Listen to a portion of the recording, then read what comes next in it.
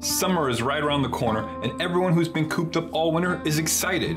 Why not start enjoying the warmer weather now with something sweet and bold? Mr. Tea is a perfect choice.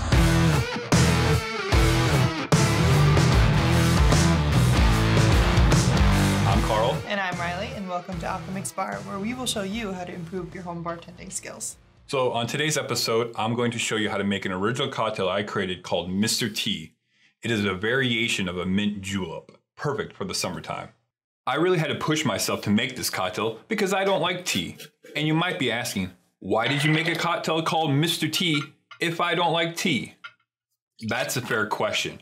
But I think it's important to experiment with flavors you don't like or aren't familiar with to expand your palate.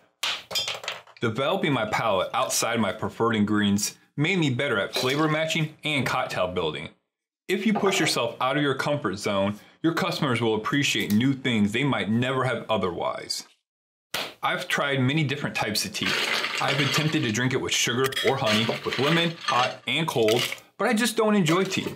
So I set out to see if I can make a cocktail with it. The Kentucky Derby was weeks away, and nothing says Kentucky like bourbon and sweet tea, so I thought I would do a variation of a mint julep. As a starting place, I made traditional unsweetened black tea and cooled it down. I added a couple mint leaves and an ounce and a half of bourbon. My initial reaction was not good.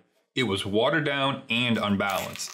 The tea was lost in the bourbon and just didn't taste good. For my second attempt, I used the same number of tea bags in half the water. Using the same amount of sugar as I had water, I just made a tea simple syrup. The second version of the cocktail was a lot better, but the tea still got lost. From this version though, I knew this would be a good cocktail. It just needed a couple more tweaks. After a bit more of experimenting, I finally got the recipe for the tea syrup right.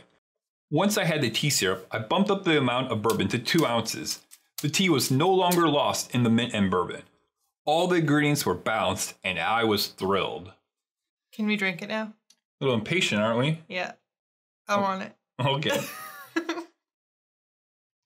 Why is my mint all sad and limp? Because it's not in season. Oh, man. It's so. What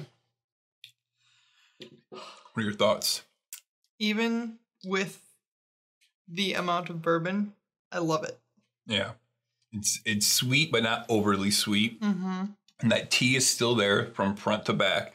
And then that bourbon just kind of blends magically in everything. And it finishes with the tea flavor, which is wild because I expected the bourbon to be the finish every time. Every time. Mm-hmm. I definitely think kind of like a mint julep, having a big mint spring in there gets your nose, gets kind of just you're smelling mint the entire time also. Yes. While tasting it. I think this is uh, perfect for summertime. I mean, summer's coming up and it's a great, easy cocktail to make three ingredients. So, yeah, we have another uh, great summertime cocktail right over here, a mojito. That is my personal favorite uh, summertime cocktail. Easy to make, refreshing, and light. All right, let us know in the comments what your favorite cocktail is for summertime. All right, everyone. Appreciate you guys sticking around. Cheers. Cheers. Dink. Tink.